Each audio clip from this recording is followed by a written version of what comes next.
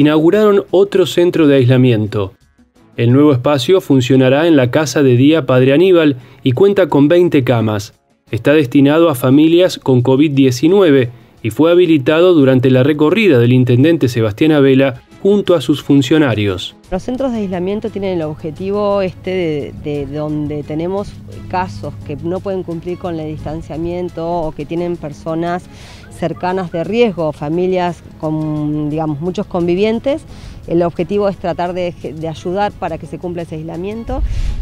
Durante la madrugada, un vehículo Chevrolet Corsa quedó totalmente envuelto en llamas cuando estaba estacionado frente a una vivienda ubicada en Casaux al 1900. Aún se desconocen los motivos del incendio. Bomberos voluntarios y policía local debieron trabajar en el lugar.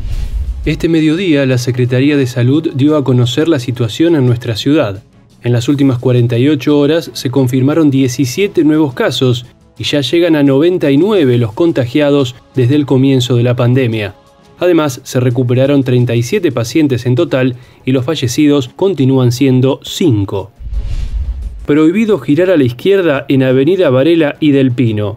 A fin de mejorar la fluidez del tránsito en el ingreso del arco, también se duplicó el tiempo del semáforo en verde y se trasladó la parada de colectivos hacia la avenida Varela y Salmini. Evitamos los giros a la izquierda, eso nos da prácticamente dos veces y media más posibilidades de entrar y salir de la ciudad y va a eliminar esos 200 metros que teníamos hasta calle Salmini y hasta arriba prácticamente del puente de este, congestionamiento de tránsito, ¿verdad? Va, va a agilizar esa medida, esto.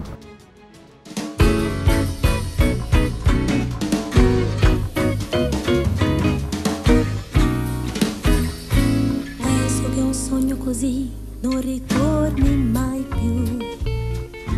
Mi dipingevo le mani e la faccia di blu.